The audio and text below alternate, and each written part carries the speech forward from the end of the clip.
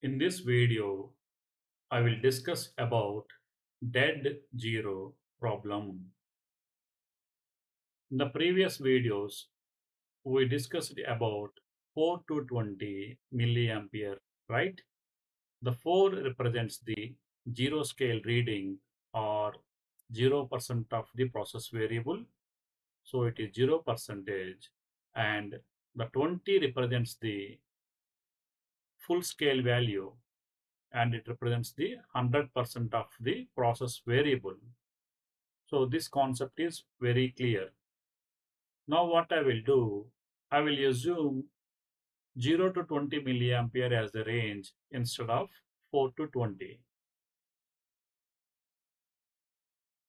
Okay. I assumed 0 to 20 milliampere as a range instead of 4 to 20 in this video. The 0 represents the 0% of the process variable or 0 scale and 20 represents the full scale value which is 100% of the process variable.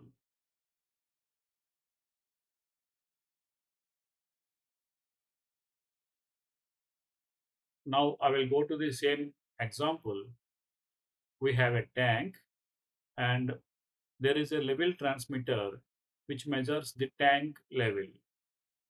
This transmitter range is 0 to 20 milliamperes. When the tank level is 0%, transmitter sends 0 milliampere to the PLC. And the PLC calculates the equivalent tank level and displays the tank level on the computer. If the tank is full, then transmitter sends 20 milliamperes to the PLC. PLC updates the tank level status on the graphics. If the tank is 50 percentage, then transmitter sends 10 milliamperes to the PLC. Again, PLC calculates the equivalent tank level and displays on the computer. Okay, in this video, you have to remember one point, main point, which is transmitter range. It is 0 to 20 milliampere. Okay. Let's say the present tank level is 0 percentage. Then how much current the transmitter will send? It is 0 milliampere current signal. It will send it to the PLC. PLC calculates the level and updates the computer graphics. Now I will take one table. The first one is tank level, the present tank level. Right now, how much percentage is there? Tank level 0%. So I will enter 0. Next one is level transmitter. Right now, what is the level transmitter output? It is 0 milliampere. So I will enter 0 milliampere. Right now, how much current the PLC is receiving? It is 0. So I will enter 0 milliampere. So what is the computer status? How much it is there? Level reading on the computer? It is 0 percentage. So I will enter 0 percentage. Okay. Let's say due to some reason, the cable, the wire between the transmitter and the PLC is damaged or broken, then what happens? See, the wire is broken between transmitter and PLC. Due to any reason, there may be a short circuit, there may be a open circuit, there may be a sensor failure. This level sensor may be a failure. Some damage is happened. Okay, in this case, what happens? Again, we will check. Now, I will update the table again. See, the tank level is 0 percentage. Right now it is 0 percentage. See, I am using yellow color for the readings. This case is for the broken wire or sensor failure. That level transmitter is sending 0 milliampere. So 0 milliampere. But the wire is broken. The PLC is not receiving any input from the transmitter. Okay. So in this case, the PLC receives how much? Default value is 0. So it will receive 0 milliampere. And the PLC calculates the 0 milliampere into the equivalent level value and updates the computer, which is 0 percentage. If you see, if you compare these two cases, the first one and the second one, you will not find any fault. Okay, this is the problem.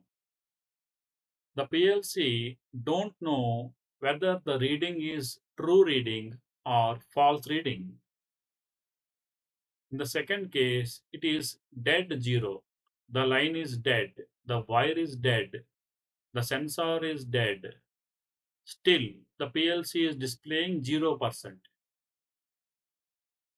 This is the problem with the zero.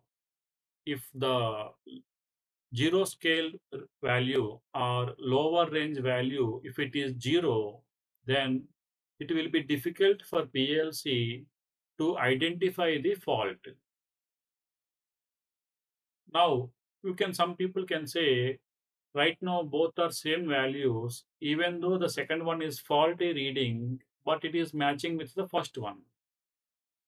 The values are matching but we don't know whether the zero is a true reading, true measurement or due to some faulty line or due to some sensor damage. Now I will take one more case. You observe. So this is the dead zero problem, which is highlighted here. Now I will take one more example. See, I will increase the tank level. Now the tank level is 50 percentage. I will enter 50 percentage. Okay the level transmitter sending 10 milliampere. That is why the level transmitter output is 10 milliampere. But the wire is still broken. So how much the PLC will receive? Zero. PLC receives 0 milliampere. That means it will not receive anything. The default state is 0. The starting state is 0. That is why it will receive 0 you see the PLC analog input right now is 0 milliampere, but the level transmitter is sending 10 milliampere. And again, the PLC calculates the level signal based on the 0 milliampere and it will update the computer reading, which is 0 percentage. So this is also a faulty reading, right? The present level is 50 percentage but the PLC is receiving 0 milliampere. That is why it is showing 0 level. This is very serious concern. If you do not address this, it may lead to the accidents, damage to the equipment and human beings, right?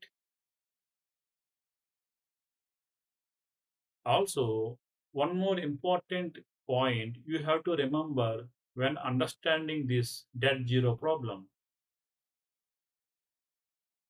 You have to consider the PLCs from the 1970s, 1980s, in that era. Okay. With the modern technology, we have a lot of diagnostic softwares, uh, diagnostic hardware available. We can easily detect the faulty readings, faulty circuits, faulty lines, short circuit, open circuit, sensor failure. Okay. But these 4 to 20 milliamperes are introduced during 19 uh, 60s, 1970s at that time.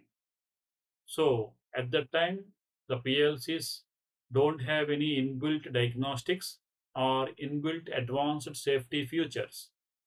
So if you are already working in industry, do not compare present technology, present PLC features to solve this problem.